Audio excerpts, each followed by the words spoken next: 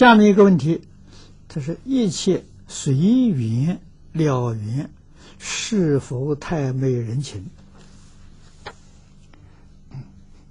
这个是你不懂得什么叫随缘啊，什么叫了缘，你更不懂。嗯，你看看释迦牟尼佛随缘，释迦牟尼佛真的是了了缘，他是不是不近人情？任何人亲近他，他都非常热忱接待。啊，热忱的教诲，从来没拒绝过啊！这叫随缘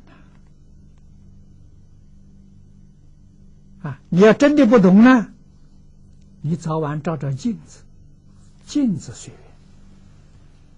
你看，你笑他也笑，你哭他也哭，啊，你有动于衷，他无动于衷。啊，所以佛教给我们用心如镜，那叫真的随缘啊，真的是了缘啊，真的要懂得啊，这不是说事上心上，心要清净呐啊，这才能随缘呐。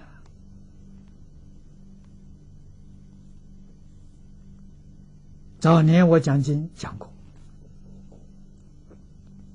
啊，我讲过这个不变随缘，随缘不变。啊，不变随缘就是镜子。啊，那什么人？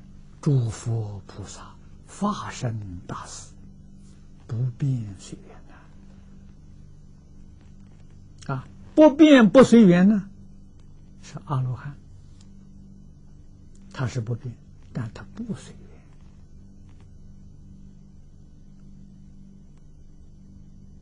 缘。啊，随缘不变是菩萨。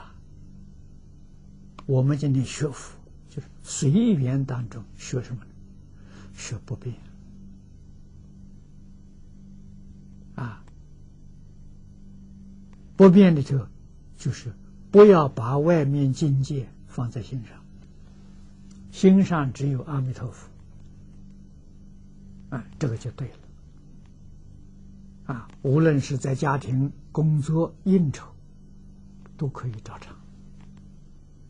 啊，心地清净，啊，尤其这些环境都是修清净心的。啊，看看自己还有没有执着，还有没有分别。如果有执着、有分别呢，要赶快念佛。啊，佛号一提起啊，分别执着就打掉了。啊，这个法门好啊。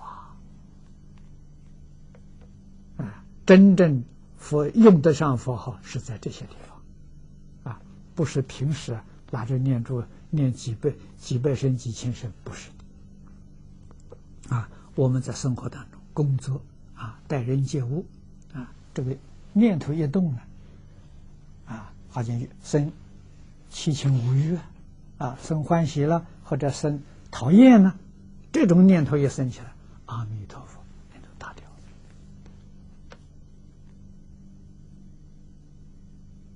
这就佛号，你真会用上了，啊！永远保持着心地清净、平等、慈悲，啊！那么你的人缘非常好。那佛法讲法缘殊胜，啊，心地清净光明，福慧增长啊！啊，这个佛法就才有这人生最高的享受啊！